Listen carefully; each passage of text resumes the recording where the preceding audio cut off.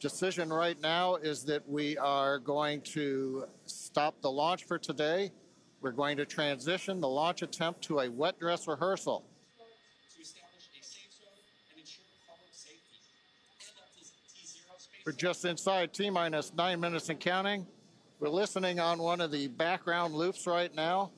Flight director is talking about the issue we've had on first stage, uh, working the pressurization system. Inside T minus seven minutes, we're continuing to count. Team is preparing for the hold and scrub at T minus 10 seconds.